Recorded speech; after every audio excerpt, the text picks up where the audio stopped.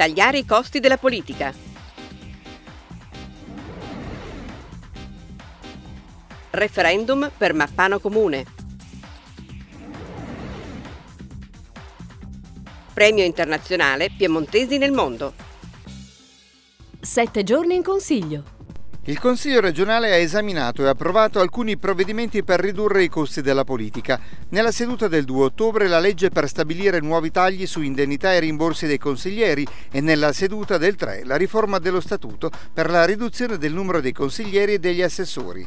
Il 2 ottobre inoltre l'Assemblea ha concluso il dibattito e ha votato gli ordini del giorno sulla crisi occupazionale. In evidenza. La legge di modifica statutaria proposta dall'ufficio di presidenza, che riduce il numero dei consiglieri da 60 a 50 e degli assessori da 14 a 11, è stata approvata dal Consiglio regionale il 3 ottobre. È stato inoltre posto un limite al numero degli assessori esterni, cioè non consiglieri, che non potranno essere più di tre a partire dalla prossima legislatura. Sono molto soddisfatto dell'approvazione di questa modifica statutaria. D'altronde circa un anno e mezzo fa l'avevo proposto con l'ufficio di presidenza e allora avevo fatto anche un po' qualche scossone, non è che fossero tutti favorevoli, eh, ma avevo già in allora la consapevolezza che bisognava arrivare a questo risultato, ringrazio quindi il Consiglio regionale che lo ha saputo fare oggi, ringrazio il Presidente della Regione che ha avuto un ruolo determinante per l'accelerazione di questo uh, percorso. I consiglieri regionali dalla prossima legislatura passeranno da 60 a 50, quindi meno 10, gli assessori da una potenzialità di 14 ad un massimo di 11, quindi meno 3 una cifra oltre 15 milioni di risparmio, ma soprattutto con l'introduzione di una efficientazione del processo uh, legislativo. Credo che il Piemonte eh, abbia dimostrato ancora una volta di sapere dare delle risposte importanti, magari in un momento contingente difficile, che però non conclude il nostro impegno, anzi è una cosiddetta seconda fase di un impegno che ha già generato nei primi due anni e mezzo di legislatura importanti risparmi e importanti scelte di riduzione. Focus.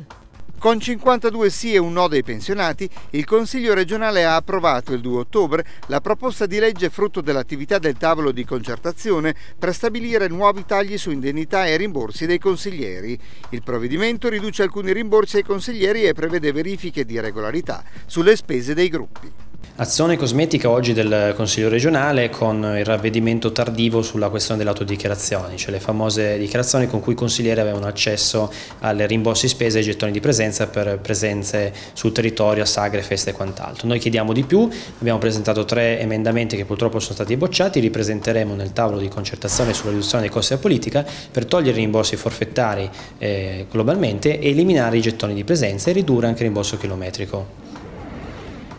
È stato approvato il provvedimento che riguarda il taglio ai costi della politica, provvedimento che è uscito dal tavolo di concertazione, riguarda soprattutto l'abolizione delle autocertificazioni, provvedimento che mi trova assolutamente favorevole. Quello che voglio dire però è che questo non è un traguardo, ma la continuazione di un percorso. Adesso noi aspetteremo nei prossimi giorni i provvedimenti che prenderà, che dovrebbe prendere il governo e poi ci ritroveremo subito dopo per continuare appunto questo percorso che porti a una razionalizzazione e una riduzione dei predetti costi della politica. Gli atti che ha compiuto il Consiglio regionale non sono importanti, sono giusti e purtroppo tardivi. Le proposte che il Consiglio regionale ha trasferito in legge sono quelle che il Partito Democratico da un anno e mezzo a questa parte aveva rilanciato al centro del dibattito nel Consiglio regionale e nella Regione Piemonte. Ci è voluto lo scandalo del Lazio per suscitare impegno e disponibilità da parte di altre forze politiche. È un pezzo del lavoro che dovrà essere completato attraverso la revisione del finanziamento dei gruppi e il trattamento economico dei consiglieri regionali. Oggi il Consiglio regionale ha dato una dimostrazione di grande attenzione verso l'opinione pubblica Eravamo e siamo consapevoli dei problemi economici e sociali che tormentano le famiglie piemontesi e per cui abbiamo deciso di fare dei tagli ai costi della politica. Sono stati eliminati i, i viaggi in aereo all'estero, sono stati ridotti da 12 a 7 viaggi in aereo nazionali e soprattutto è stato eliminato l'istituto dell'autocertificazione che ha fatto molto discutere in questi giorni. E infine, cosa importantissima, abbiamo deciso di ridurre del 20% il finanziamento ai gruppi consigliari. Il Consiglio delle autonomie locali, presieduto da Carlo Riva Vercellotti, ha approvato il 3 ottobre, con 27 voti favorevoli e 4 contrari, la proposta in merito al riordino delle province nell'ambito della spending review, chiedendo che la decisione sia recepita dalla Regione nella deliberazione da presentare al Governo. La proposta prevede la riduzione da 8 a 4 province piemontesi così articolate. Provincia di Torino, futura città metropolitana, provincia di Cuneo, con il mantenimento dei confini attuali, provincia di Asti, Alessandria, provincia del Piemonte orientale, i cui confini sono quelli delle attuali province di Novara, Verbano Cusio Ossola, Biella e Vercelli. La votazione si è svolta dopo un lungo e acceso dibattito che ha visto rappresentanti delle province di Asti, Biella e Vercelli esprimere la maggiore contrarietà per una proposta che non considera l'espressione e la volontà di porzioni importanti del territorio.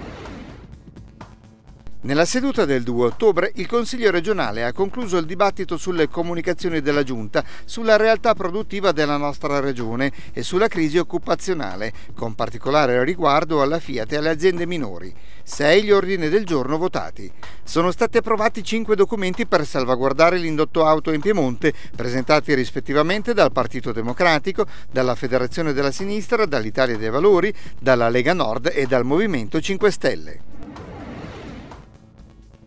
Il Presidente della Regione ha adottato il decreto che fissa per l'11 novembre lo svolgimento del referendum consultivo nel quale i cittadini di Leini, Settimo, Borgaro e Caselle Torinese si potranno esprimere favorevoli o contrari alla creazione di un nuovo comune che riunisca l'abitato di Mappano attualmente diviso fra i quattro comuni.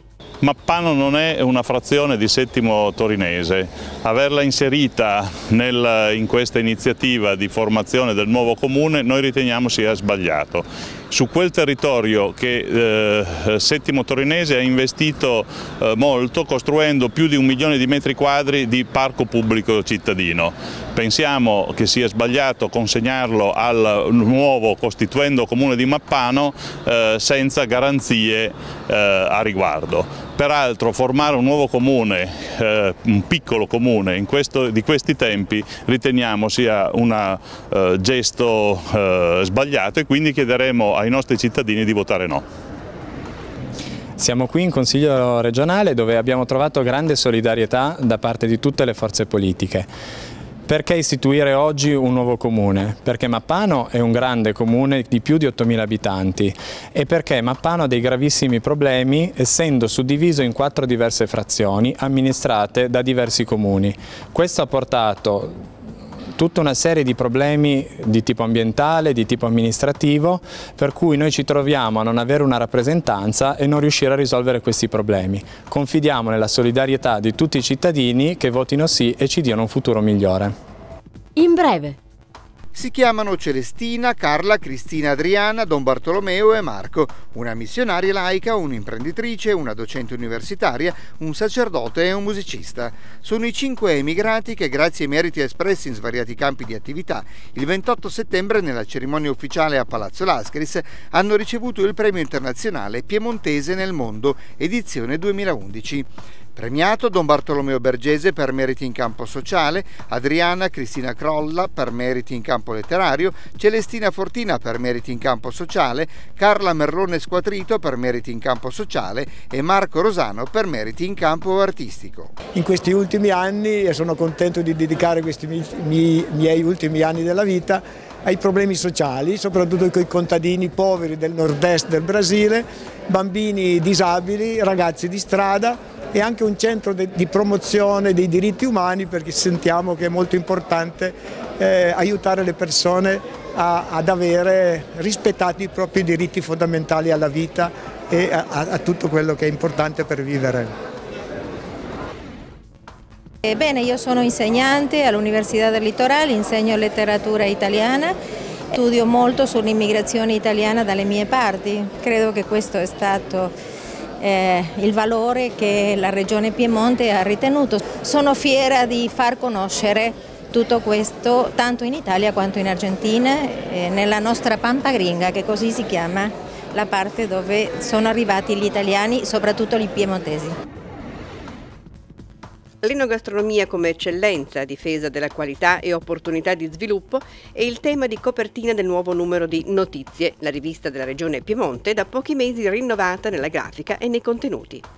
Il cibo, fra ricerca, tradizione ed economia, è anche al centro del convegno In Piemonte con Gusto, tenuto a Palazzo Lascaris il 27 settembre, con la presentazione dei servizi di attualità e approfondimento del numero 3 del magazine Notizie.